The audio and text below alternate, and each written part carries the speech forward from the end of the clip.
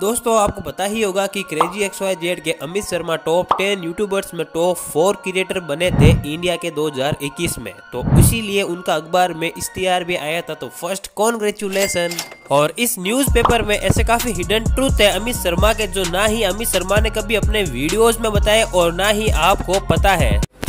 दोस्तों आप comment box में ये बताना कि आप सुबह कितनी बजे उठते हो? रही बात अमित शर्मा की तो वो सुबह छह बजे उठकर रात के बारह बजे तक रेगुलर अपनी नेक्स्ट वीडियो के लिए काम कर रहे होते हैं और आप जिस वक्त ये वीडियो को देख रहे हो, अमित शर्मा अपने स्टूडियो में अपनी नेक्स्ट वीडियो की तैयारी कर रहे हैं। अमित शर्मा ने पिछले डेढ़ साल से अपने काम से एक भी छुट्टी नहीं ली है। अमित शर्मा ने यह बताया था कि जब मैंने चैनल स्टार्ट किया था, तब मुझे कोई भी सपोर्ट नहीं करते थे।